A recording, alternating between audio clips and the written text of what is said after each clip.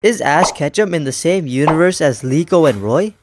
Pokemon Journeys was Ash Ketchum's last series, and now that he's officially gone, I'll be trying to figure out this massive question that has been going around since the start of Pokemon Horizons. We know that there are other universes in the Pokemon anime, we've seen full episodes dedicated to it, even in Pokemon Journeys, we got to see a 2 episode arc featuring Ash, Chloe, Dawn, and Go all in another universe.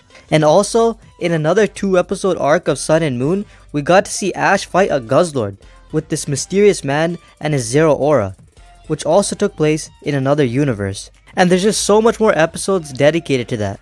So we know there are a lot more universes in the Pokemon anime, but is Ash in the same universe as Liko and Roy?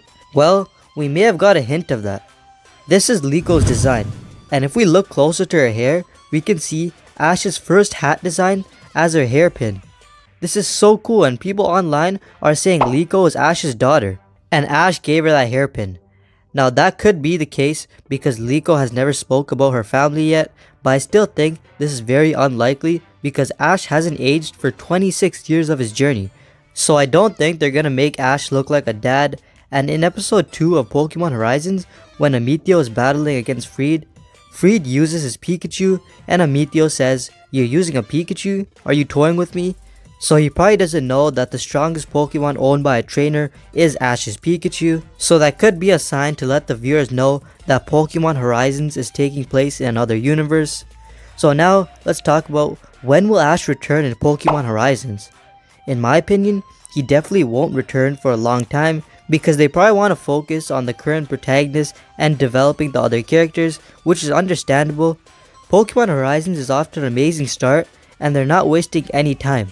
All 8 episodes that have been released are great and filled with action, so Ash will for sure return whether it's a cameo or in a different universe, but not anytime soon.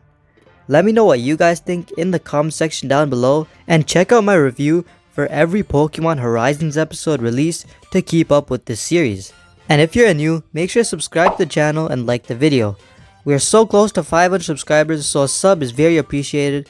Other than that, it's been Pokezam and I'm out. Peace.